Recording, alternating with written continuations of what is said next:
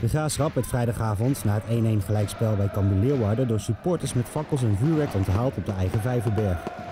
De ploeg van Mike Snoei promoveert direct naar de eredivisie als het een van de twee resterende duels wint.